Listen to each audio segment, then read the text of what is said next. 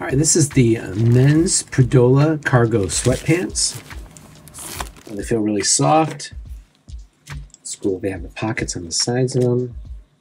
The logo in the corner. These are size medium. The waistband is nice. It's got nice drawstrings in the front. It's very like loose, which is nice because you can move around it, but the material is really stretchy. You can see it's got cargo pockets on the side with Velcro. It's a nice big pocket though. Pockets in the back too, for wallets. I really like the material. It's really soft on the inside.